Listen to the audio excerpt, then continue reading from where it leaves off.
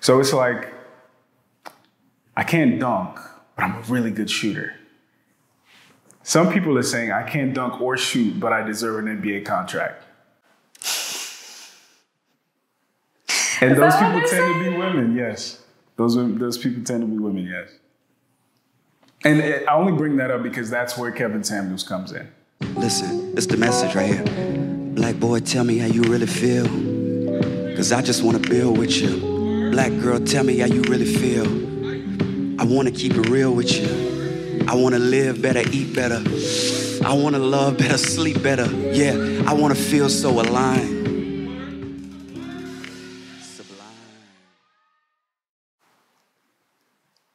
Safety and security is important for women. Um, you know, feeling solid. And if your partner is kind of that safety and security for you, then when they are off, then that can be scary. So it's really just about learning. You got to like get with yourself and and figure it out because I think it, it is important to be able to create that space. Um, but again, I don't think it's something that we talk about, and I don't think that most most women would feel comfortable admitting that it's uncomfortable for their man to be vulnerable with them. I think you just single-handedly validated thirty thousand men. like I'm serious. Um, I think you know, especially nowadays, the the message is that men. Going back to what you said, you're not enough. The main one now is you're not expressive enough. You're not emotional enough. You're not as in touch with your inner psychology enough. And men are saying, or sometimes just thinking, or saying amongst themselves in barbershops, like, you're not ready for that. Um, because for all intents and purposes, we, we, we have been led to believe for millennia that part of our utility is our ability to hold it together even when things are falling apart. And if I fall apart, or if I'm falling apart, how can you dialogue with that as a woman? Because you look to me when you're falling apart. Yeah. You know, so even if I am, I have to pretend. Um, what do you think women could be doing better to make space for that that dilemma, I guess? Creating their own safety and security within themselves. So, I think a lot of relationships are codependent. And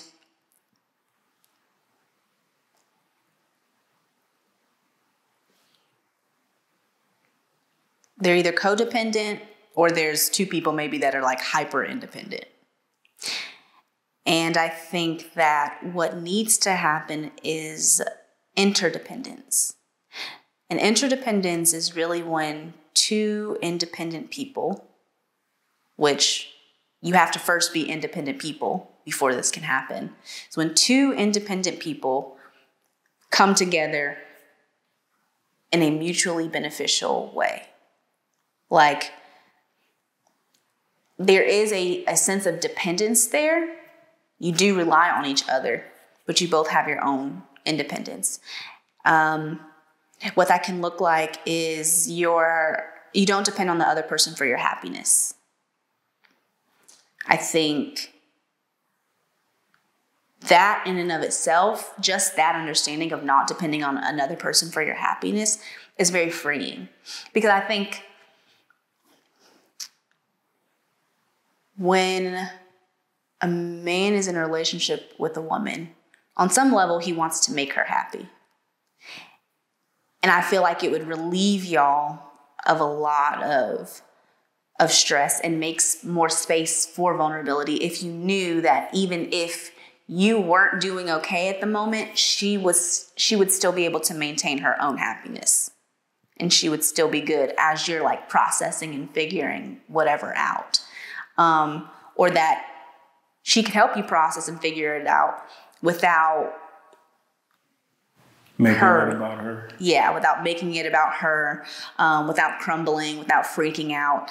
Again, I think it, it takes a certain amount of strength, it takes a certain amount of self awareness, um, takes a certain amount of self love, um, fortitude. Like you have to be confident and comfortable in yourself and who you are. Um, and you have to be making sure you're doing the, th- the things necessary to take care of yourself as a woman so that you have space to take care of other people that you that you care about um, or to hold space for other people that you care about i think a lot of times women do things from a place of lack you know um, I'm going to do this for you because I'm hoping that you're going to do something for me in return. Um, and that's going to make me feel good, as opposed to I feel so good and I'm so overflowing that I can flow over into you. I think that when a woman is so good within herself that she is just like constantly overflowing, it makes it a lot easier to be there for someone else. Like to put it in a concrete way, me, when I'm happy and when I've been taking care of myself and when I've been working out and I've been eating healthy and I've been, you know, doing whatever it is that I need to do, I've been meditating, like whatever it is that I need to do to take care of me, it doesn't matter if somebody cuts me off in traffic. It doesn't matter if somebody cusses me out to my face. It doesn't matter if somebody, my family member, somebody has a stank attitude and they're taking it out on me because I'm happy. I'm good. Like when you're in a good mood, when you're in a good place, there's not a lot that somebody else can do that's going to shake that, that's going to rock that because you're good. But when you haven't been doing those things, or even worse, you've been like depending on somebody else to make you feel that way. And they're only human, so they're probably not doing everything that you would want them to have, especially since you're probably not happy and you're nitpicking or whatever. Um, then anything somebody does is going to get on your nerves. Anything somebody does is going to be like an earth shattering experience. Anything someone does, you're not going to be able to hold space or listen or whatever. Like you're just gonna snap. So I think that people underestimate the importance of a woman taking care of herself and like being her own peace. Um, yeah. So let, us transition to the namesake of this series, Kevin Samuels. Oh, okay. So some of the things um, he talks about, some of the ways he, he says men should evaluate women, fit, feminine, and friendly. That's how he puts it. Mm-hmm. Um, uh, I think he calls it FBI, CIA, but I think CIA is men, FBI is women. But I can't remember what FBI stands for. But anyway, you're saying essentially some of the same things that he says. What are your thoughts on the Kevin Samuels phenomenon? What do you mean by that? You can take it wherever you want.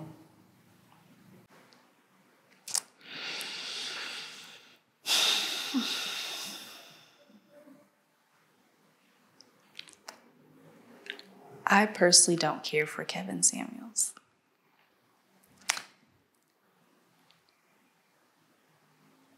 I don't love his delivery. I think that there are times where he says things that make sense. But the thing is, I, I also think that he slides in things that are not healthy. And sometimes that's more dangerous than someone who's just like flat out all the way, like you know that everything they're saying is bullshit. When it's like bullshit, like a little bit of bullshit mixed in with truth, that's usually the when it's most dangerous, in my opinion. And I feel like he does that. I mean, and I don't feel like the conversations that he's having. I haven't, let me preface this by saying, I do not, I am not a Kevin Samuels follower. So anything that I'm talking about will be um, from a few videos maybe I've seen here and there and some clips. There's there's been very few full videos that I've seen of him. So my opinion is on a, a limited, uh, I guess, view of his work. Um, but I don't feel like his conversations are productive. I feel like he is furthering the divide. And that's the problem that I have with him. I don't think he's helping. Why do you think so many men feel validated by his ministry? Uh, I hate to even use that word for him. his ministry? Okay.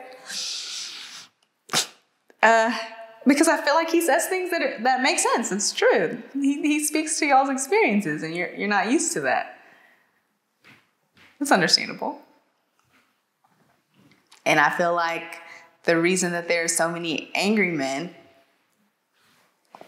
like the say goes, riot is the language of the unheard, and y'all have not been heard for a long time. So y'all are lashing the fuck out right now. That's how I feel. Every black man is a podcaster. And every black man that's a podcaster got some shit to say. You know, go for it. That's cool.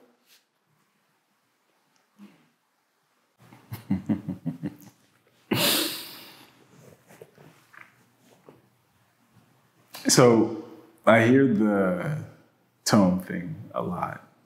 Mm-hmm. And I think part of the reason I empathize is my tone has improved over the years.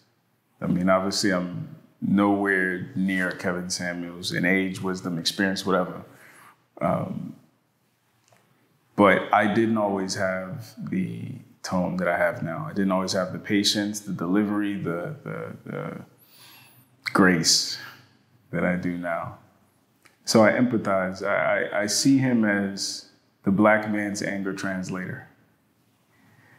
Um, and I, I, think that's why I'm not as quick to throw him away. Because I think what he speaks to, and this is going to segue into my question for you, is the main thing I get from his ministry is that look, they don't actually want what they say they want.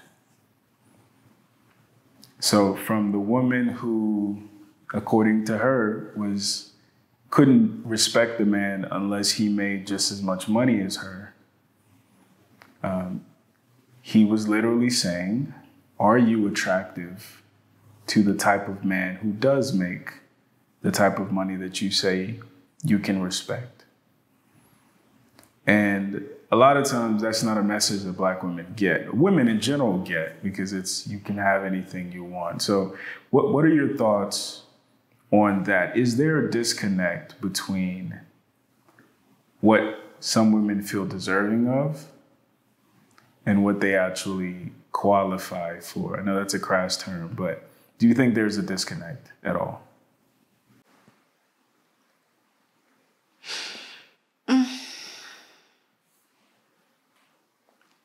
I don't know. The reason that I say I don't know is because who says or who determines what someone qualifies for? I think there's a lot of people who are with someone that the outside world would say they're not qualified for. So I feel like that's tough to say in that respect. Um,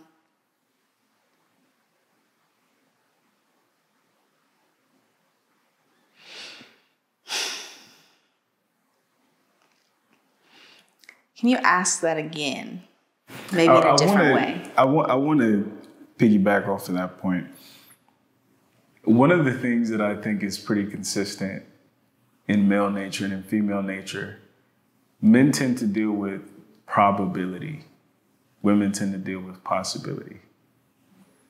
So, to your point, there are people who the outside world might say are with people they don't qualify for.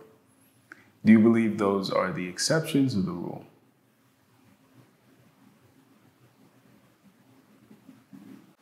I'll say the rule. They're the rule. I'm, I mean, I'm sorry, the exception. The, The exception. exception. Okay, okay, okay. Because, It's the rule that people are generally with people that they qualify for. and I and I think part of the part of the reason, like um, Kevin Samuels aside, some of the conversation between men and women uh, doesn't go well is because going back to your point about media not liking black men, going back to your point about black men feeling not good enough, there is a effort, there is a branding effort, marketing effort to tell people that they're not good enough for different reasons, right? To, to buy things to make them good enough, or whatever the case may be. Um, in our community in particular, there's this idea, and I, I believe it's born of trauma. It's like a backlash to I'm not good enough, so now I'm the best thing ever, right? And and uh, nobody can tell me otherwise. I can be whatever weight, whatever mental disposition, and I deserve the best.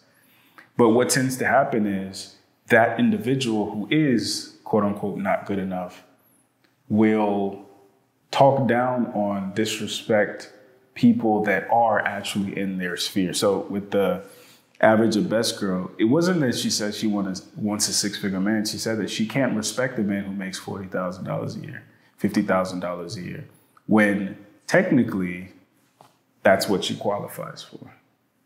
So why, why do you think there's this disconnect between the whole qualifying for who you who is in your league um, conversation? Because again, like, who determines what someone's qualified for and like what that actually looks like?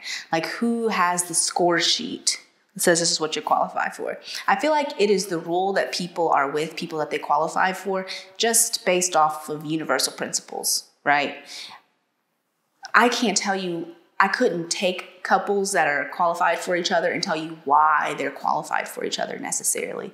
I can tell you why maybe I feel like they're compatible, why I feel like they're interested in each other, but like I can't look at myself and be like, Dasha, this is what you qualify for. I think the score sheets are kept by both sides. I think women have a score sheet, and I think men have a score sheet. And typically, um, men of means have more access to higher quality women. Um, quality based on how we assess quality, looks, aesthetics, right? And typically, attractive women tend to have more access to um, high quality men, you know, men of means, men, men intelligent, the whole nine, right? Um, do, do you agree with that? Makes sense, yeah. It seems like that's not the understanding, or people are like, no, that's not true. I mean, there are very wealthy men who are with women who are not the most attractive women because of things like their feminine energy, I feel like, or the kinds of mothers that they are. So I And and to your point, I think that is the more important conversation because if you are willing to make concessions for, if you're willing to strengthen your other offerings, that's one thing. But what tends to happen is I'm not willing to be more nurturing and improve the other auxiliary traits that could make me competitive. I'm just competitive just off top. So it's like, I can't dunk, but I'm a really good shooter. Some people are saying I can't dunk or shoot, but I deserve an NBA contract. And those people tend to be women, yes. Those, those people tend to be women, yes. And it, I only bring that up because that's where Kevin Samuels comes in. I, I won't just say those people just tend to be women because men are bold. Men are bold. They'll be like, yeah, you know, I just, they'll be, I literally saw this video with this woman. She's a nurse. And this man had just uh, been admitted to the hospital for an overdose. He tells her that he just got out of prison and then proceeds to ask her on a date. Hey, listen, shoot your shot. so,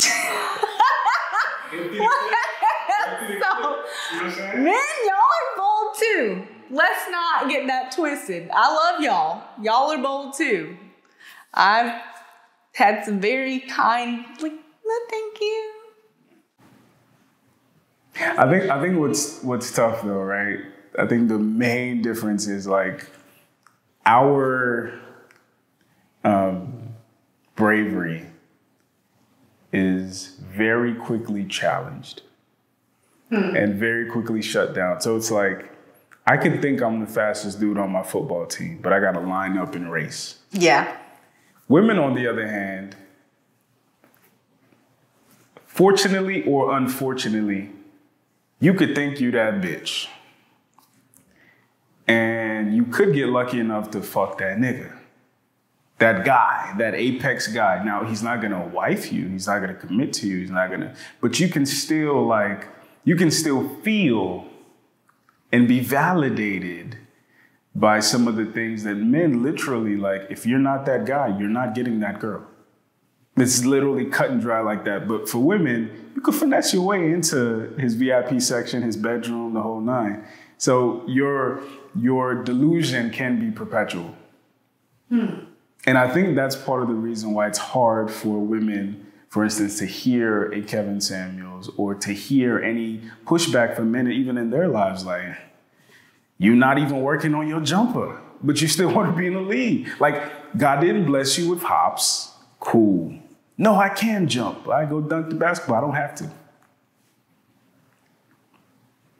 But you're not working on your jumper. I just feel like women don't know the metrics. I feel like maybe they just don't know the metrics. I mean, we talked about the the bad the bad bitch mentality and stuff earlier a little bit, you know, um, they think not smiling is going to get somebody to come up with them up to them. So maybe maybe women just i mean i wouldn't say i know the The the score- formula. yeah what the formula is I think you have an advantage. what's my advantage You could dunk. You could dunk. So whereas, you know, another basketball player is gonna have to work on their fundamentals mm-hmm. and their shooting. You could come in the gym and boom, you know what I'm saying? So you have an advantage. Now, if you, with that advantage, if you also develop a jump shot, you might be the next MJ. You know, so how, how do we, um, because men listen to y'all. Like, if women say a man in a Birkin bag is sexy, I guarantee you every hood dude is gonna have a Birkin bag tomorrow. They're gonna wear it proudly, right? Um, but on the flip side, men's wants and men's asks tend to not be um, validated. We want y'all to just Take me ex- as yeah, I accept whatever am. we give you that's tough i mean i just feel like there's a reason women feel that way though Sure. And I feel like I don't know what it is, but I do feel like y'all are playing into it a little bit. No, I facts. do. Facts. I feel like y'all play into it a little bit. Absolutely. If y'all chose the kinds of people, or how about this? If y'all completely left alone, about that? Completely left alone the women that go against what you actually want, then women would stop doing that stuff. I really do think that they would. I think it's confusing for women because you say like, oh, you can sleep with them or you can get in their VIP section or whatever. It doesn't